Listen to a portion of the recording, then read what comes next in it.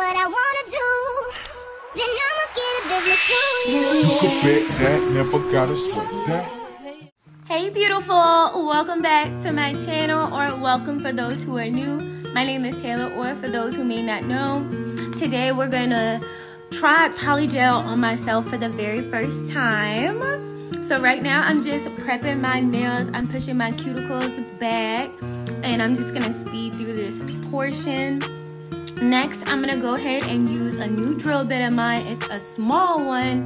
Well, I got it off of Amazon, of course, girl but you could see the difference in size compared to this the standard one. I saw this type of drill bit on Instagram, so I decided to give it a try, and I really do like how this drill bit works. I will link it in the description box below. I like that it's really small because it helps you to get into those little small spaces and to go around the cuticle. It's a really good bit. So next, I'm gonna go ahead and size my tips and put them on with some KDS glue.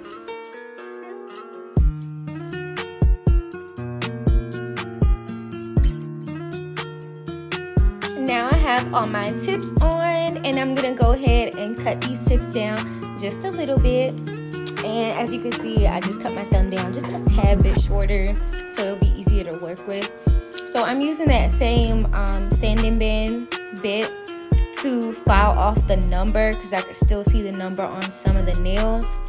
And then I'm just gonna blend the tips in with my natural nail beds.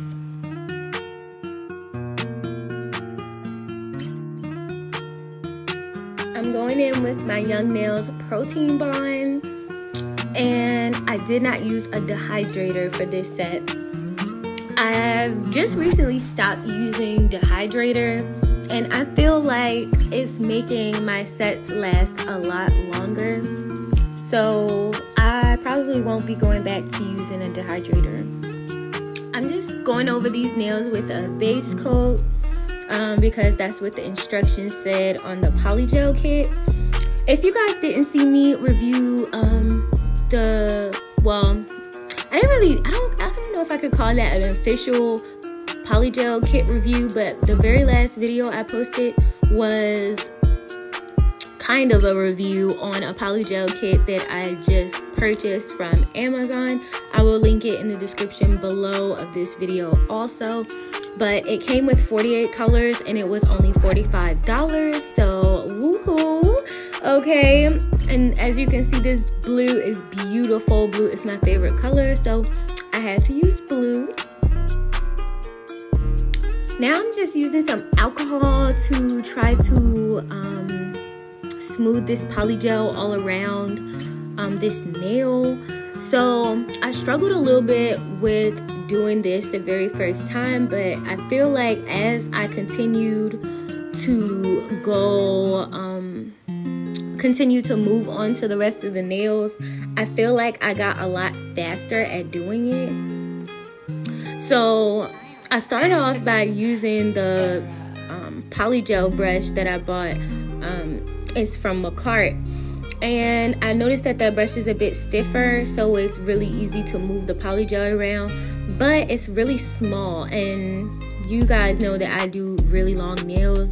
So I did go ahead and switch over to my standard acrylic brush, um, the Kolinsky. I think this again it's like a number 12 or 14 something like that. Or four, no probably like a 14 or 16 i don't know.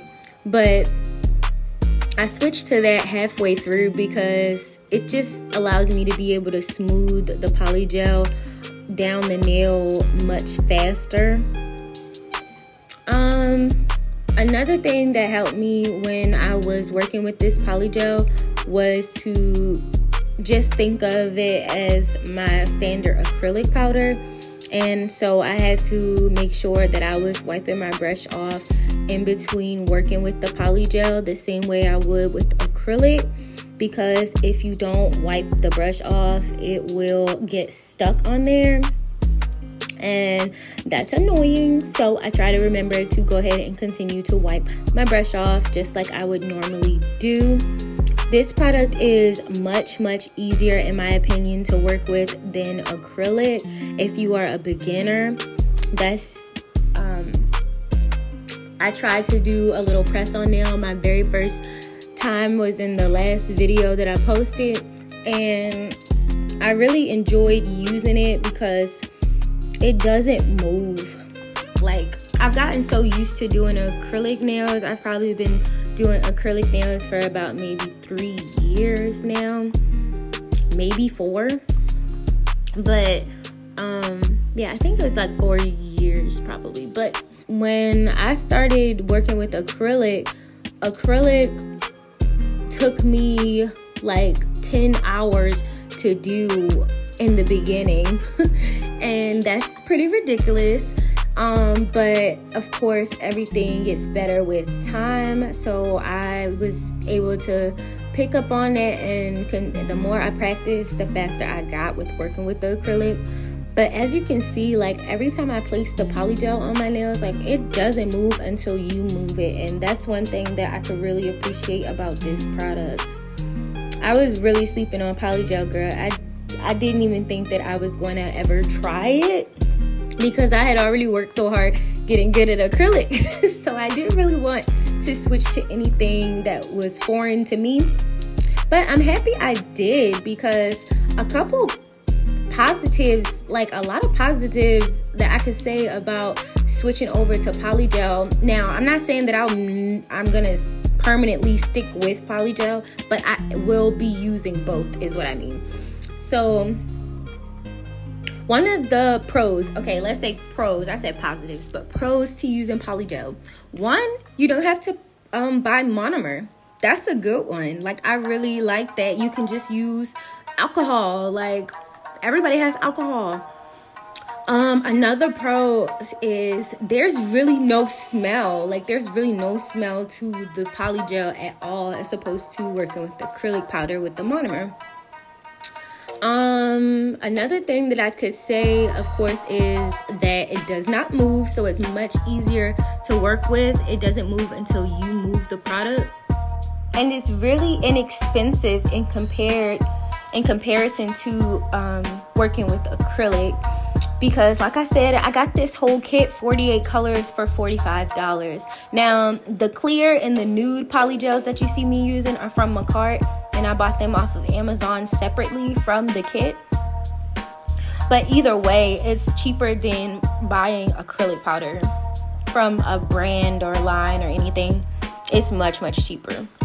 The kit did come with a clear polygel, but in my very last video, I went ahead and compared Makartt's clear to the clear that came in the kit and I realized that the Makartt clear was a bit more clear than the clear that came with it. So I opted to use that one instead. Um, so as you can see, I also purchased um, a set of glitters. I got them from Shein or Sheen. I'm not really sure how you're supposed to say that correct me in the comments or let me know how it's supposed to be said because I'm really tripping off that. Like, I don't, I never know if I'm saying it right. But I got some glitters and I completely made a mess with them glitters because they're not individual containers. Like, you literally have to take one off at a time because the top is stuck to the the next one. I, hopefully that makes sense. But anyways, the glitter the glitter is so cute, but they could have definitely made them separate containers. The whole thing is stuck to itself, and the you can only take off the bottom of the glitter. Anyways, I just used that on my pinky, and I used one of the glitters that came in the polygel kit um, underneath the glitter just to fill in any gaps. Now on this middle finger, I just put a thin layer of polygel. So I, I wanted a thin layer because I was to put more glitter on top and then encapsulate it. So I just took some of the clear off of this nail and just continued to bring what I had on the nail the rest of the way down. And when I was happy with how that looked, I went ahead and started sticking my glitter on there.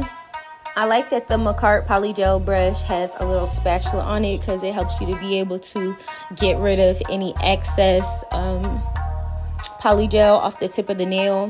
Or sometimes you see me also using my um, acrylic brush and just um, wiping it with the side of my brush. But right here I started getting real fancy. I thought this was a cute little idea to just fill in the gaps of the marble that I created with the glitter so it matched the pinkies. And um, I decided to go with all four rows and I thought that was really cute. So here I'm going ahead and encapsulating it with the clear again. And I'm just using my Makartt brush to smush it down because for some reason the clear the clear poly gel is um, from Makartt is really thick like it's really sticky and thick um, compared to the poly gels from this kit. Um, the clear that came with the kit is really loose and it moves really easily just like the rest of the colors. But again I didn't want to use that clear because it wasn't as clear. And I'm I'm real I like I really like a, a, a nice clear.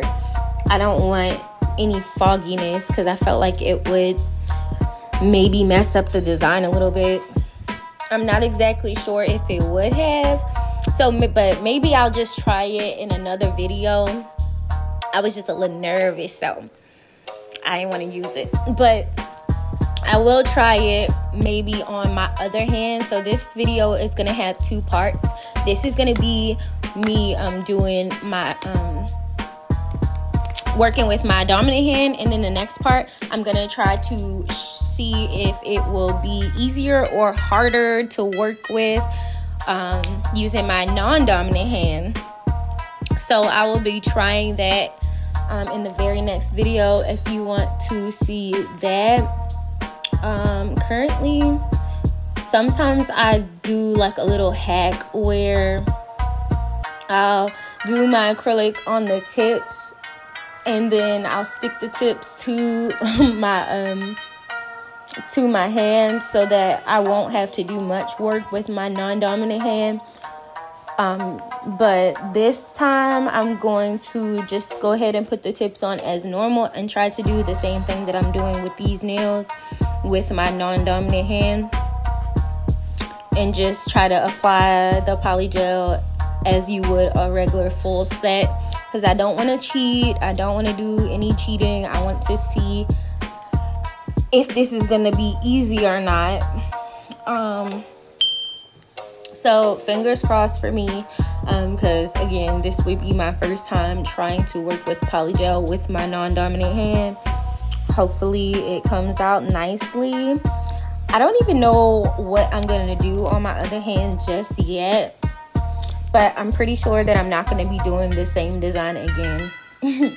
I'm gonna do another design on my other hand and probably use some different colors from the kit so stay tuned if you want to see that right now i'm just apologies for this blurry footage but my camera was going in and out of focus um, when trying to do my thumb. So just just imagine that it's not um, that is it's fully focused. Okay.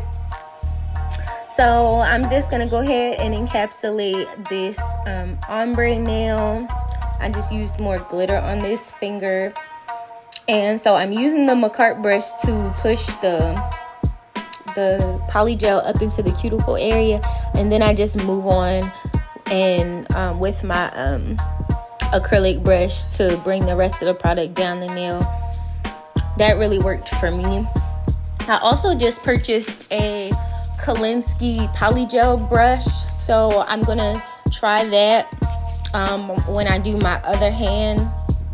Um, I got it off of Amazon as well, but I did not use that in this video because it wasn't here yet but I will definitely show you what it looks like in the next video. So I'm going to go ahead and stop talking. You can just go ahead and watch the shaping portion. I just kind of skipped through this part because it wasn't... I have other shaping tutorials on my channel, but yeah, you can go ahead and watch it. I'll be right back.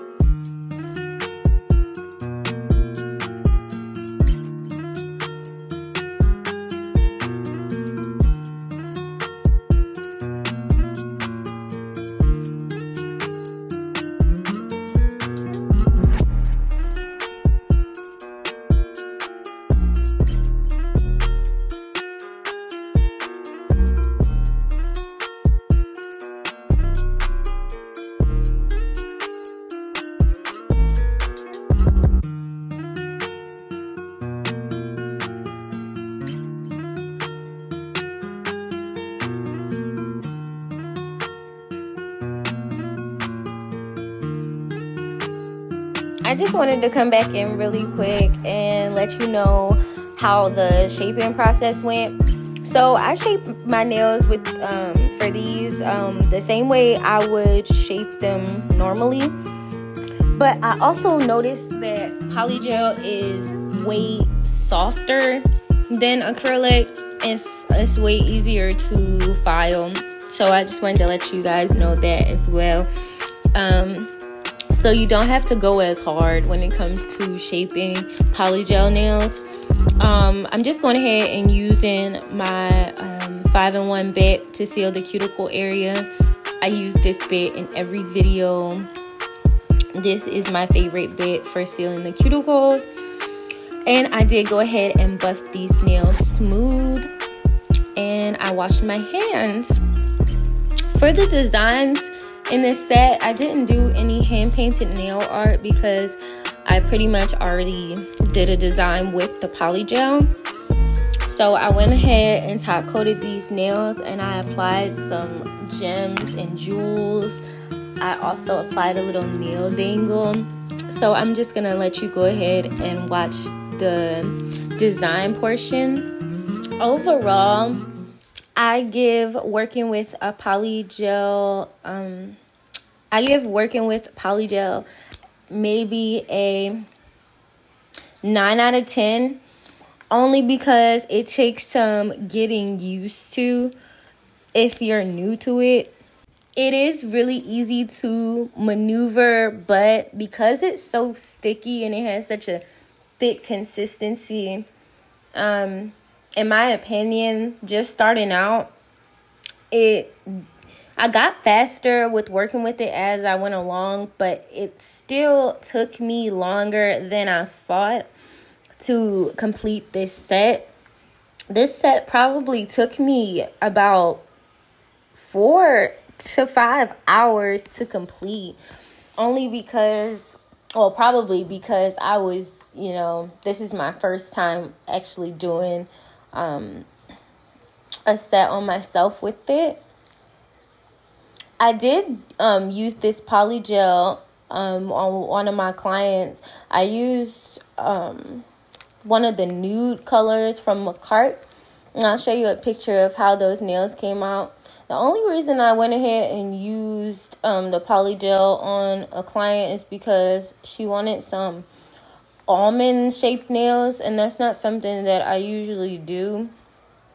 And I just kind of wanted to see if I would be able to do a full set with it on someone else. Plus, she's been a client of mine for maybe like two years now, or at least a year and a half. And she really trusted me to do it. And she said she loved how they came out. So I was really happy about that. Um, so overall, again, I will be probably trying to continue to practice um, working with polygel as well and just adding that on to um, something that I show on this channel. I do want to practice getting better and faster at working with this um, polygel. Um, I guess, well, oh, I should probably also tell you how long it took me to do her nails um, those almond shaped nails, it probably only took me around three hours, which is a little bit longer than it usually would take me. Usually, for a standard set, it probably only takes about two hours, but working with the polygel for the first time is um, it did take a bit longer, took maybe an extra hour. But it still wasn't that bad in comparison to how long it took me to do these super long nails on myself but I did really like the outcome. I really enjoy using the colors because they're so vibrant. They're so vibrant and so beautiful. Um, and I definitely want to go ahead and try more of the colors in this set because I swatched them in the last video and there's so many of them and they're just so cute. I had to. Now on this finger right here that I'm doing right now, I it was a bit much. I didn't really I didn't even know what I wanted to do. So I was putting designs on, taking designs off, and then my camera cut off on me. But you're going to see how it came out in the end. But that's pretty much it for today's video. Make sure you like, comment, and subscribe, especially if you want to see more um, polygel nail content. Let me know in the comments how you guys like this set and if you would actually ever try working with polygel or if you already currently use polygel. And I would appreciate if you could drop some tips if you've already been working with polygel because I am new to it. But that's all. That's about it. Um drop a blue heart if you really like these nails. This is how they look. I really like the um the white and pink crosses. I think that was so cute. This little dangly thing, it just kept moving all around, but I like that I added it. Well, that's all for now, and I'll catch you guys in the next one. Bye. You could bet that, never gotta sweat that. You could bet that, never gotta sweat that. You could bet.